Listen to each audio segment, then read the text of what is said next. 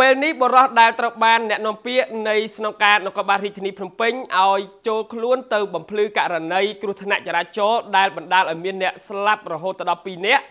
នៅលើផ្លូវជាតិលេខ1បន្ទាប់ពីស្នងការប្រកាសឲ្យមានការចូលទៅបំភ្លឺបរិះខាងលើបានចូលទៅបំភ្លឺកាលពីព្រឹកមិញនេះហើយដោយពេលនេះបរិះខាងលើនោះបានចូលខ្លួនទៅបំភ្លឺឲ្យសមត្ថកិច្ចហើយ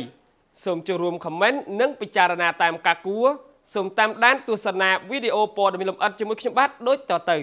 បុរសម្នាក់ចូលមកបំភ្លឺជុំវិញគ្រោះថ្នាក់ចរាចរណ៍លើផ្លូវជាតិលេខ1បណ្ដាលឲ្យមានអ្នកស្លាប់និងរបួសធ្ងន់ស្រាលចំនួន3នាក់យោងតាមប្រភពព័ត៌មានក្រោយមានការប្រកាសឲ្យបុរសម្នាក់ឈ្មោះពិសិដ្ឋរតនាជាមនុស្សម្នាក់ស្ថិតក្នុងគ្រោះថ្នាក់ចរាចរណ៍ត្រូវបានស្នងការរាជធានីភ្នំពេញសុំឲ្យសម័យខ្លួនចូលមកបំភ្លឺពាក់ព័ន្ធករណីគ្រោះថ្នាក់ចរាចរណ៍ដ៏រន្ធត់ ដែលបានកើតឡើងនៅលើផ្លូវជាតិលេខ1បណ្ដាលឲ្យមានមនុស្សស្លាប់2នាក់និងរងរបួសធ្ងន់ស្រាលចំនួន2នាក់យោងតាមផេកស្នងការរាជធានីភ្នំពេញបានឲ្យដឹងថាអ្នកនាំពាក្យនៃស្នងការដ្ឋាននគរបាលរាជធានីភ្នំពេញ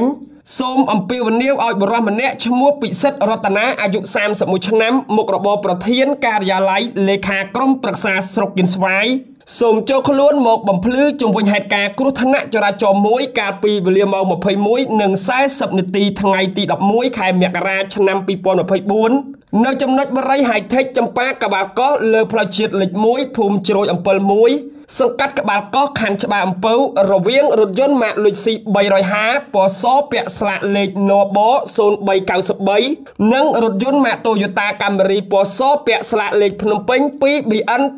7915ក្នុងហេតុការណ៍នេះបណ្ដាលឲ្យរថយន្តទាំងពីរគ្រឿងខូចខាតធ្ងន់ធ្ងរក្នុងនោះភាគីរថយន្តម៉ាកលុចស៊ីជិះក្នុងរថយន្ត5នាក់ប្រុស3នាក់ស្រី2នាក់បណ្ដាលឲ្យស្លាប់2នាក់ជាមនុស្សប្រុស ចំណែកស្រី2នាក់រងរបួសនិងស្រាលចំនួន1នាក់ហើយអ្នកដែលរបួសស្រាលប្រុសនេះសង្ស័យជាអ្នកបើកបររថយន្តលុយស៊ីដែលមានឈ្មោះដូចខាងលើការអំពាវនាវឲ្យសម័យខ្លួនចូលមកបំភ្លឺគឺដើម្បីឲ្យសមត្ថកិច្ចជំនាញធ្វើការស៊ូនាំការអំពាវនាវឲ្យសម័យខ្លួនចូលមកបំភ្លឺគឺដើម្បីឲ្យសមត្ថកិច្ចជំនាញធ្វើការស៊ូនាំមួយចំនួន ជុំវិញហេតុការណ៍គ្រោះថ្នាក់ចរាចរណ៍ខាងលើដោយសារតែអ្នករងរបួសធ្ងន់2នាក់នោះកំពុងសង្គ្រោះនៅមន្ទីរពេទ្យមិនអាចផ្ដល់ព័ត៌មានមកសមត្ថកិច្ចនោះទេក្នុងហេតុការណ៍នេះអ្នកបើករថយន្តម៉ាក Toyota Camry មិនបានកិច្ចខ្លួននោះទេហើយបន្ទាប់មកត្រូវបានសមត្ថកិច្ចជំនាញនាំអ្នកបើកបររថយន្តម៉ាក Toyota Camry មកការិយាល័យនគរបាលចរាចរណ៍ផ្លូវគោកនៃស្នងការដ្ឋាននគរបាលរាជធានីភ្នំពេញដើម្បីអនុវត្តតាមនីតិវិធី